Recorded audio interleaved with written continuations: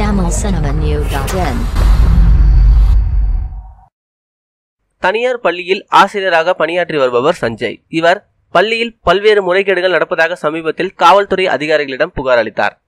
இந்த புகார் குறித்து காவல்துறை அதிகாரிகள் எந்த நடவடிக்கையும் எடுக்கவில்லை என்று தெரிகிறது. இந்த நிலையில் நேற்று முன்தினம் சஞ்சய் பள்ளிக்கு சென்றார். அப்போது பள்ளியின் முதல்வர் மற்றும் சில ஆசிரியர்கள் சஞ்சயை சரமாரியாக பெரம்பால் அடித்ததாக கூறப்படுகிறது. இதையடுத்து சஞ்சய் தன்னை தாக்கியவர்கள் மீது காவல் நிலையத்தில் புகார் அளித்தார்.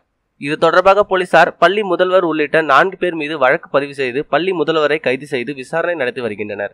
மேலும் இதுபோல செய்திகளுக்கு லைக் மற்றும் சப்ஸ்கிரைப் செய்யவும்.